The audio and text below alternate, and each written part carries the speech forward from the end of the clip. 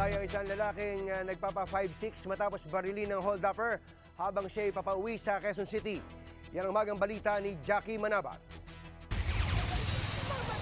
Hindi matanggap ng mga kaanak ni Reynaldo Arbon na sa krimen pa mamamatay ang itinuturing nilang breadwinner ng pamilya. Ilang lakad na lang, bahay na sana nila. Pinaril na naka-helmet tas naka-single na motor. Anong motibo, tingin mo? Eh wala yung bag niya na may pera siguro hold up. Pagpapautang ang negosyo ng biktima.